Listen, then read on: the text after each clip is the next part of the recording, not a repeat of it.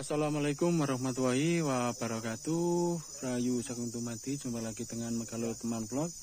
Kali ini saya sowan ke Gunung Penanggungan. Jadi di sini ada sebuah peninggalan kuno. Ini adalah sebuah candi Mungkin juga pertirtaan karena berada di bawah.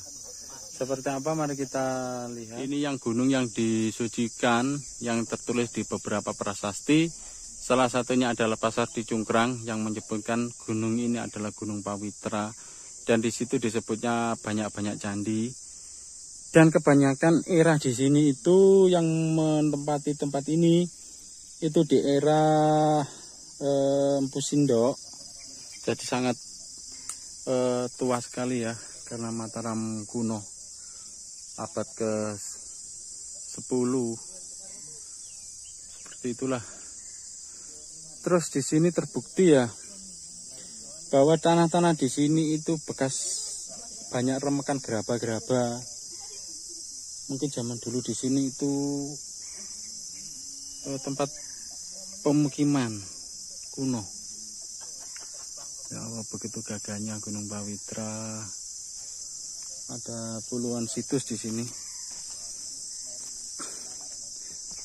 Dan saya sangat tertarik di sini ya. Nah, ini adalah candi wayang karena ada relip-relip berjejer seperti wayang. Nah, seperti ini.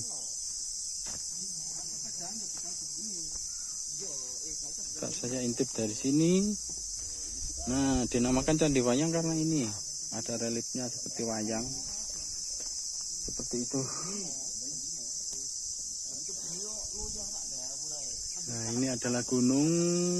Jadi kita ini berdiapit ya di lembah antara Gunung Gajah Mungkur dan Gunung Pawitra atau Gunung Penanggungan. Nah ini ya. Nah ini berada di lembah. Dan uniknya eh, di sini banyak remek-remekan gerabah seperti ini. Unik ya di sini ya loh atau mungkin zaman dulu ada pemukiman kuno. Nah seperti ini. Banyak sekali. Oh gerabah-gerabah tipis-tipis seperti ini ya. Berbagai warna-warni. Ini juga seperti apa ini ya? Ya Allah. Terus ada batu-batu unik warnanya keemasan. Nah ini warnanya kuning keemasan. Karena ini bekas hujan. Jadi bekas hujan itu banyak yang terlihat. Ini kalau nggak hujan nggak terlihat ya.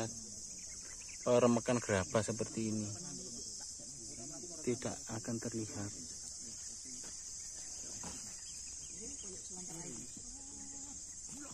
mungkin ini kalau bawa alat metal detektor bisa mendeteksi logam. Nah ini. Tapi itu paku. Ada ini ya. Logam ini. Logam kecil. Loh terus ini? Apa ini ya? Bekas kayak batu ake ini. Tapi gerabah ternyata keramik.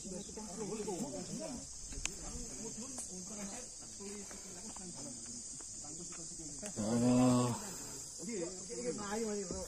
ini kalau dikasih itu apa namanya yang metal detektor itu pasti ya muni terus soalnya banyak pakunya ini. Mungkin zaman dulu ada diberi rumah-rumahan atau apa.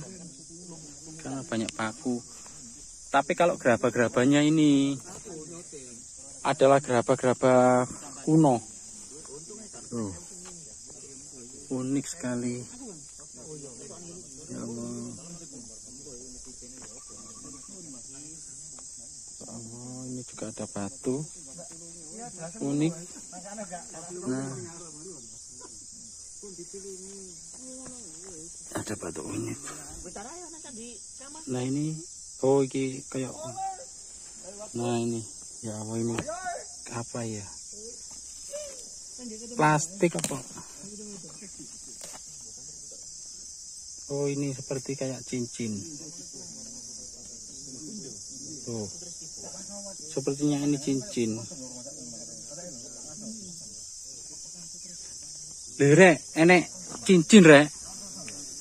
Hei, tak duduhi cincin. Tuh, tuh. Cincin. Asli kuno kok. Tak kira mau iki plastik rek, tiba cincin rek. Delok ana. Delok ana. Lo iya Cincin, cincin. kuno iku. Cincin kuno. iki. Tuh. Coba coba kene. Asli temen iki yang. Temen kandhane ada tangan delok. Oh, Iya. oh. Oh, apik ya. Dikembalikan dek, nanti kembalikan dek setelah itu dek. Pak namanya Saya kok sih duwe. Oh, yon ini, wah, yon ini gauri. Wah, piye? Kayak zaman kuno ya. Iki Apa eh? Ayo maca Surya Majapahit iki. kayak Surya Majapahit tapi apa ini ya? Motif ya. Hmm. Kayak Surya Majapahit ya. Kuno iki benda-benda kuno. Soalnya apa? Warnane gitu Kang. Iya warnanya. Nah, Tapi kayak duduk emas ya. bukan. Pasti biasa. Perunggu iki. Mungkin perunggu biasanya ya. Tangannya wong biyen gawet iki. Tangannya cuma dulu. Berarti tangannya jem wong biyen gawedi ya. Tak jempolane iki. Oh, lho. Itu kayak kan sudah kamu dulu. Iya. Ini kira ya. Ada ini ya. Ya, Rek, tak balik sih ya. Soalnya anu. Kak, ngene iki biasa terus kadang anu kok ilang paling kok. Kena kena kena iku lho apa?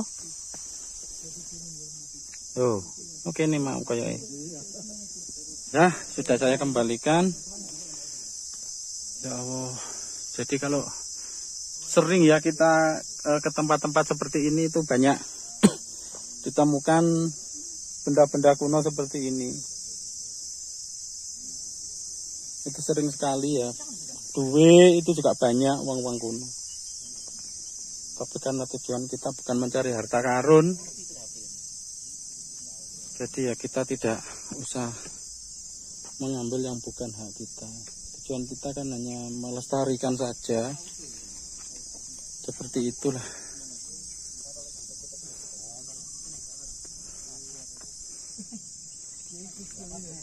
Jadi ya banyak sekali penemuan. Biasanya di bekas pemukiman kuno itu ada kadang ada pusaka, ada apa seperti itu ya. Kita akan lanjut naik lagi ke gunung sana. Di sana ada ada candi di tebing sana.